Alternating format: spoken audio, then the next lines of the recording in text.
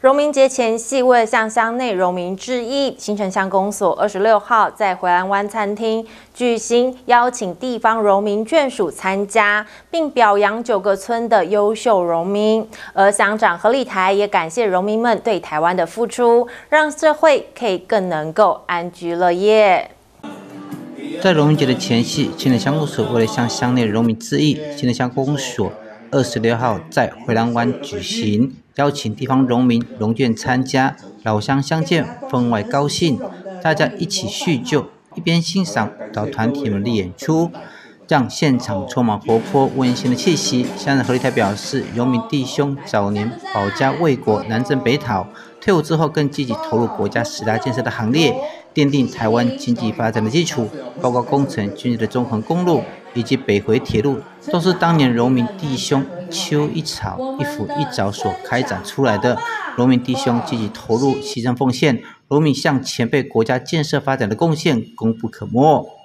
我们要感谢农民过去为国家的付出，尤其今天在座的各位有很多的学长，在这个地方，各位保家卫国，奉献给国家。在民国六十八年，政府为了感谢各位。所以用农民，就是在我们先总统讲功啊，这个纪念日、生辰纪念日的时候，作为农民节这样子，一个各位表达感谢之意。唯有坚强的国防实力，才有和平来的条件。所以新城乡极力来支持我们各项的国防设施在新城乡。我想各位我们的农民前辈，半生戎马。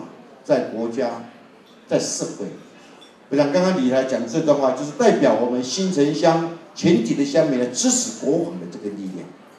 两岸的交流确实有其必要性以及经常性，所以不管中央以及对岸两岸的关系如何，但是我们要尽一份我们的力量，能够交流的尽量来交流。所以今天要感谢我们过去。为我们国家付出的各位农民大哥大姐，还有各位保健，作为他们的后盾，能够让国家社会能够安定。